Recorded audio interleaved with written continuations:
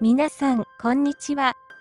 今回は、アクトリアン評議会の皆さんから、3月のエネルギーのメッセージが届きましたので、ご紹介します。では、早速、今回のメッセージを見てみましょう。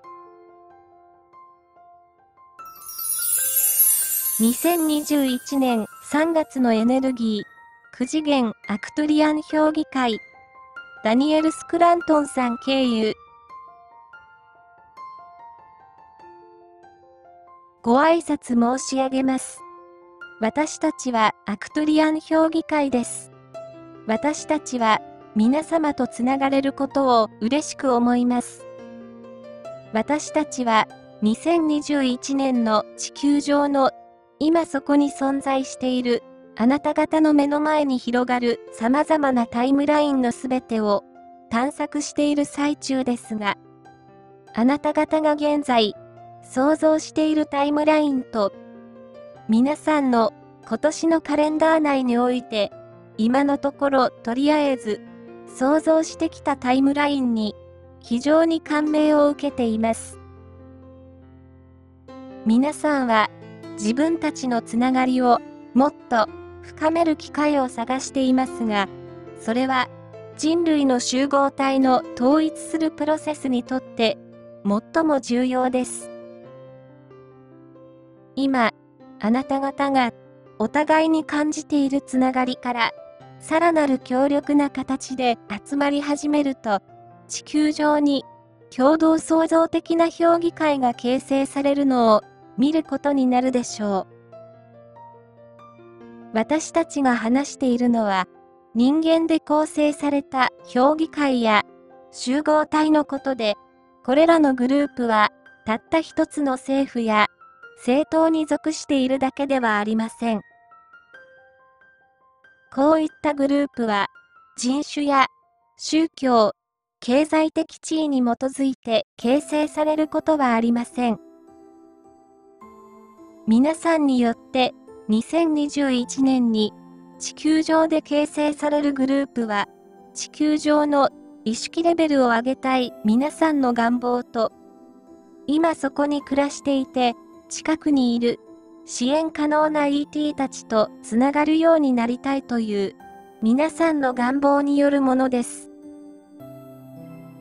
もっと意識上から団結したいという願望はあなた方全員が、自らの世界で、あれやこれや、何らかの形から来た分離経験をもとに生まれており、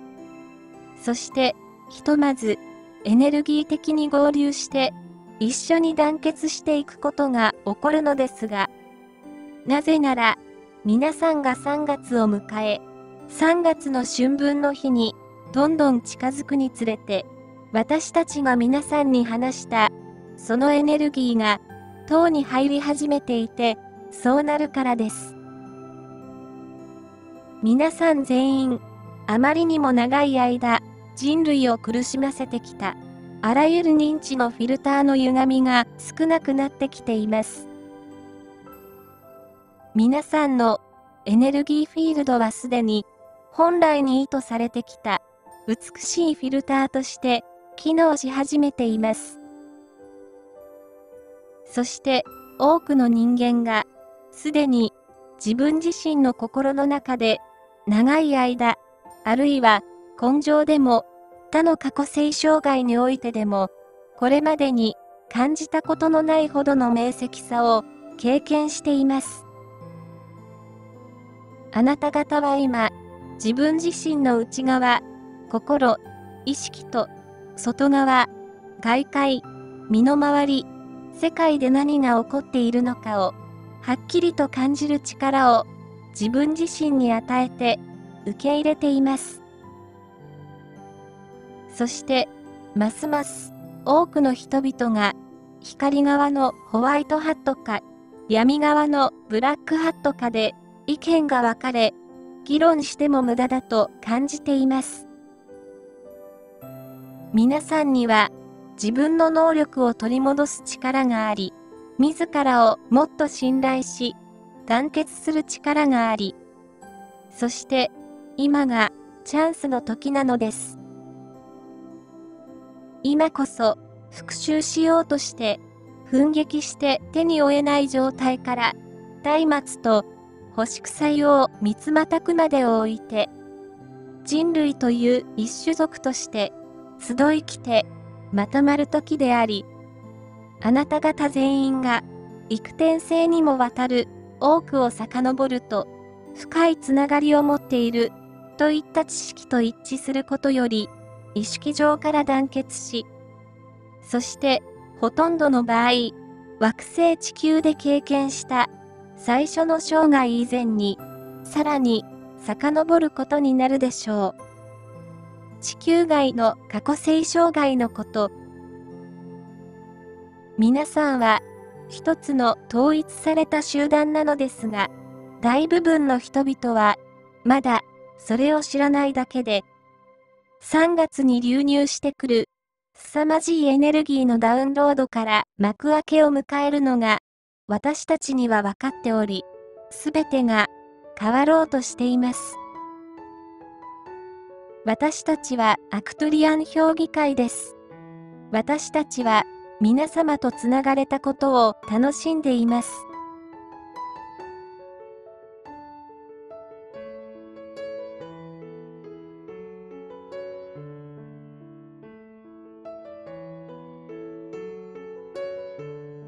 いかがだったでしょうか？では、メッセージに出てきたユニハイケーション人類の集合体の統一するプロセスとは何を指すのでしょうか？それは、例えば、アメリカ人、日本人、〇〇黒人ではなく、自らを地球人と言える統一を言っています。ただし、民族性、個性、地域性、文化、多様性をすべて受け入れた上で、それを超えていく統合、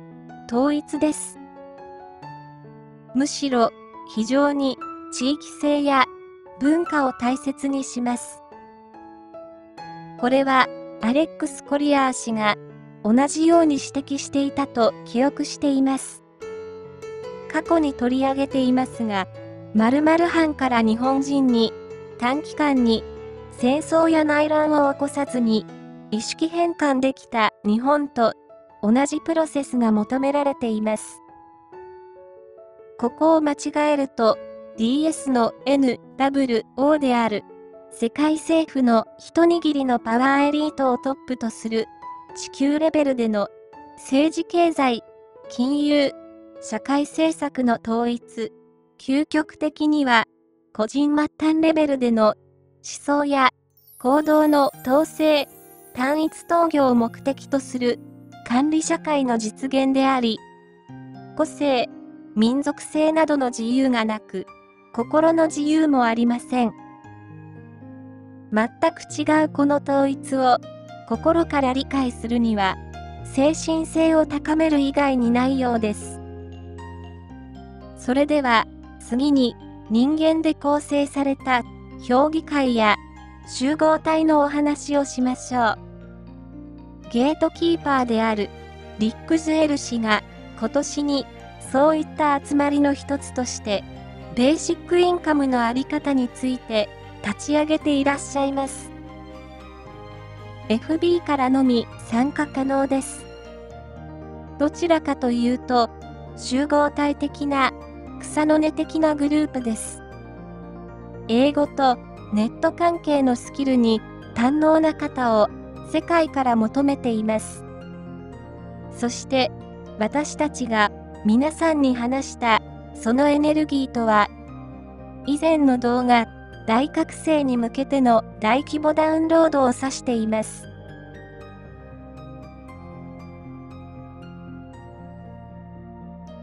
かがだったでしょうか？今回のメッセージが気に入っていただけたら、コメントで教えてくださいね。最後までご視聴ありがとうございました。あなたの日々が幸せでありますように。幸せの法則でした。